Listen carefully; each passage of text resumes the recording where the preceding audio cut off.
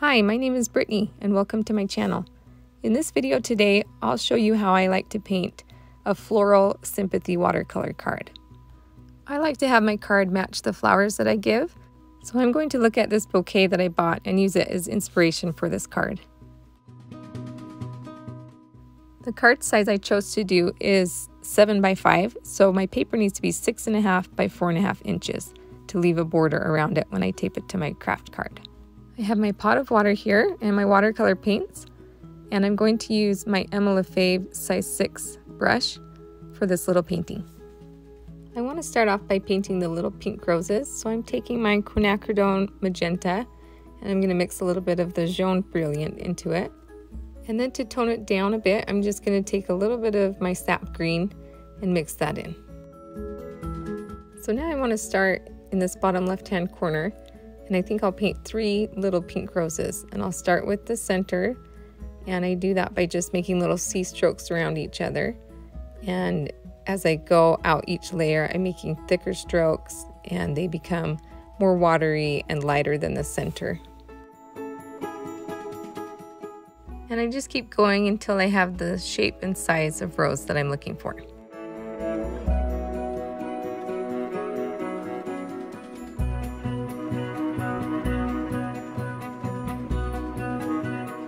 With just water on my brush now, I'm going to go around these outer petals and just touch the edges and make the petals a little bit bigger and lighter in color.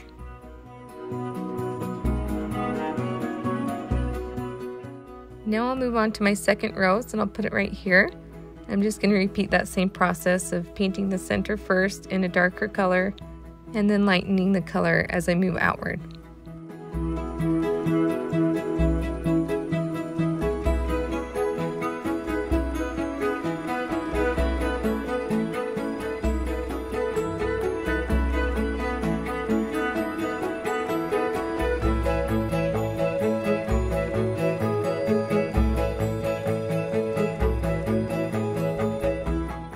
Now that I'm happy with the shape of those roses, I'm going to take a darker color and I'm going to go back in while they're still wet and just drop it around the center to darken it up.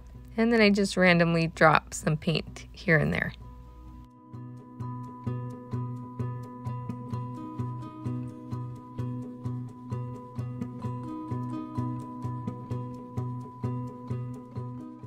I'll paint my third and final rose here just repeating the steps that I did with those other pink roses.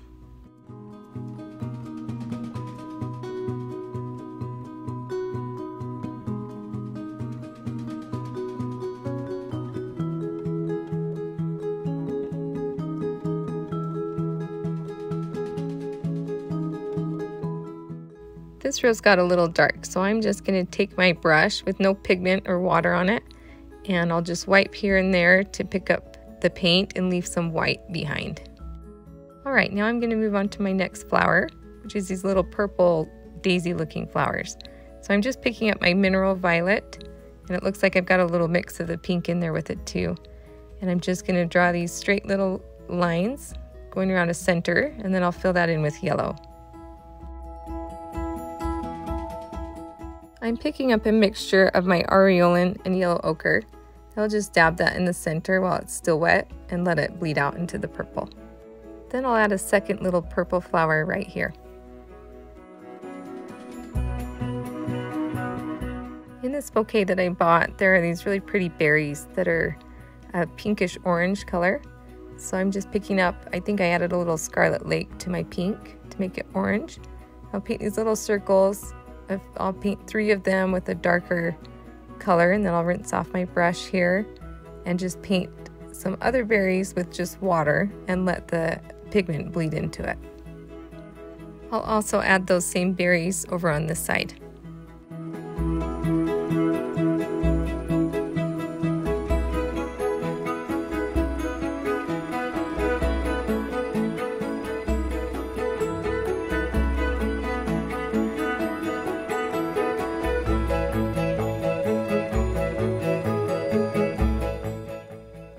To start adding some greenery. So I'm picking up this beautiful undersea green from Daniel Smith and I'll just start placing leaves here and there and start filling in these gaps.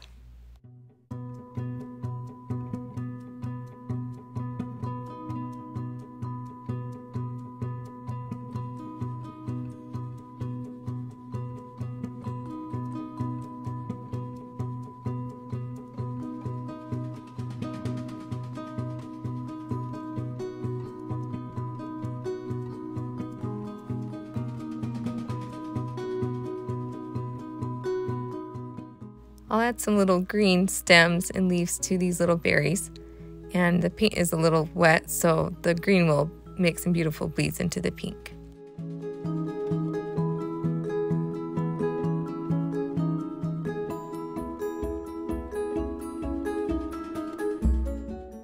I want to add some different shades of green, so I'm going to add some aureolin to my sap green or undersea green that I have here and just add these little leaves throughout the painting.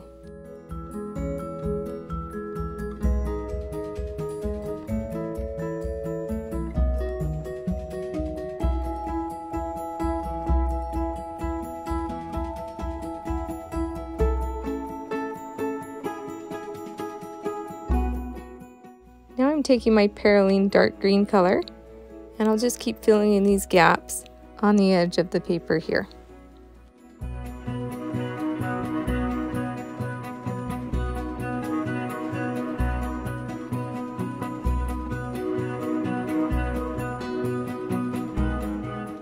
And I'll just paint the same dark green leaves over on this side of the painting.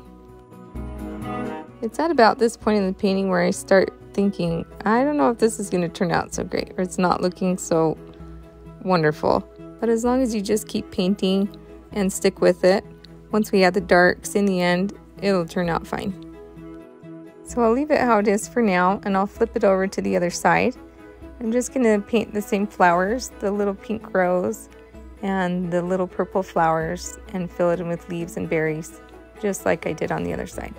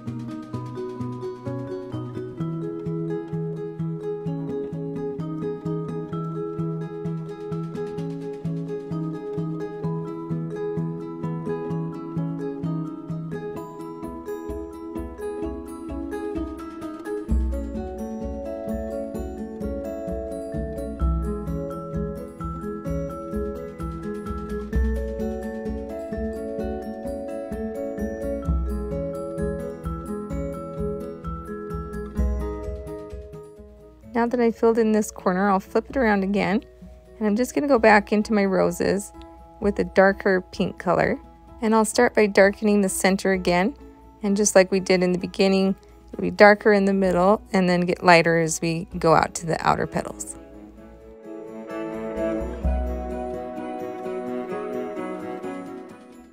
With just water on my brush now, I'll go back in and touch the edges of that paint that I just laid down, which will allow it to blend out nicely. And I'll just go ahead and repeat that process on these other two roses.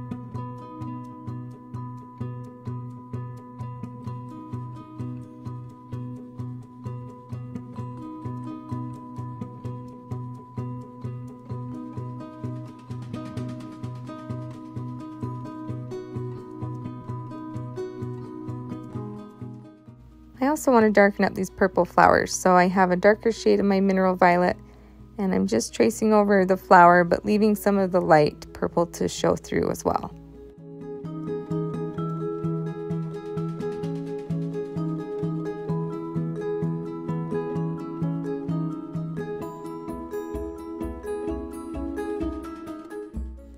I'm just picking up some more purple and I'm just going to put a dot on each of these berries.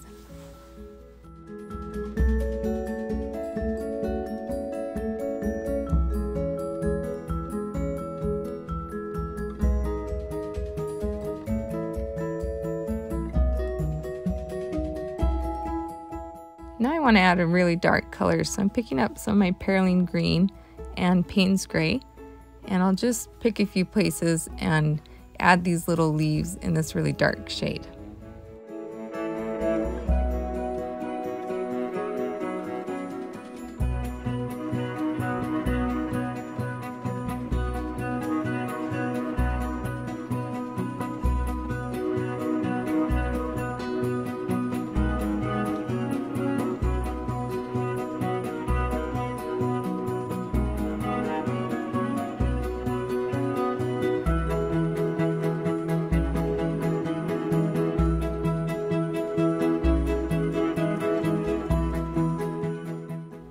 And I think that looks pretty good. So I'll flip this painting over and I'll repeat the same steps that I just did in that corner and then we'll finish up this little card.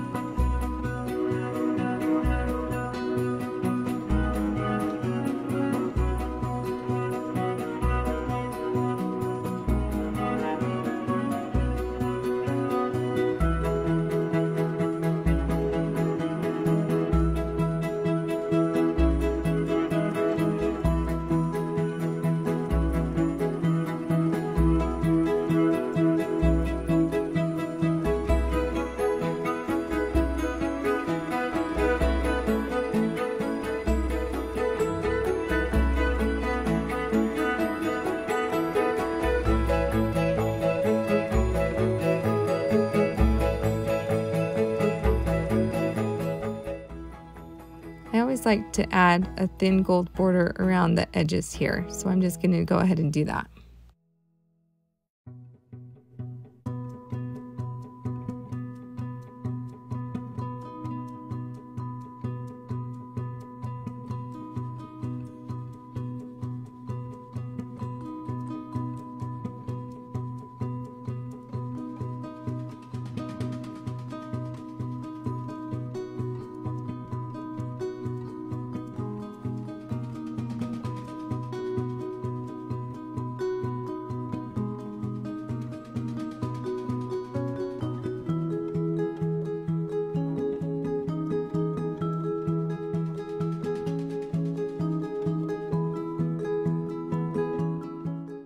Now that the painting is finished, I just need to add my words. So I'm going to give myself a couple lines here as a guide.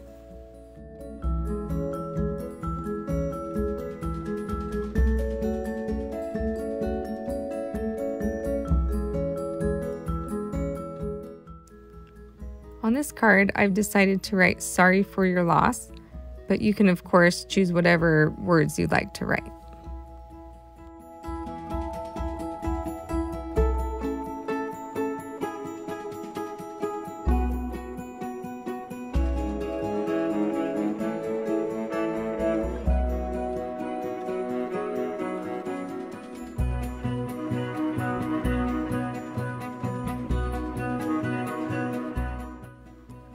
I'll take my Tombow calligraphy pen, and this isn't one I usually use. I think this is my soft tip one, but I prefer my hard tip one. I just couldn't find it and I was too lazy to go search for it. But anyway, it will do the job, and I'll just go ahead and trace over my pencil writing.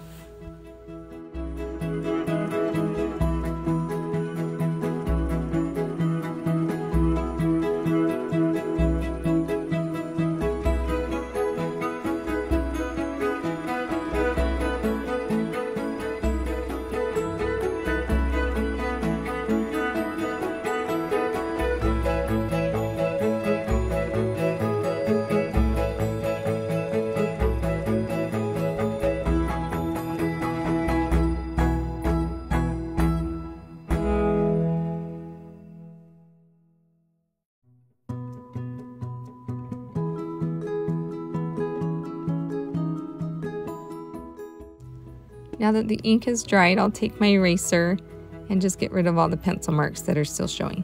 Now all that's left to do is tape this to my Kraft card and I'm using my crafter's tape to tape that on. And I run out of it right here, but I usually tape all four sides.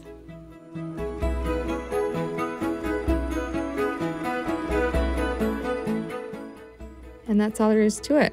This is the finished card and I'm happy with how it turned out. This card is going to my cousin and her family who had to put their sweet puppy dog down recently. I hope you enjoyed this video and thanks so much for watching.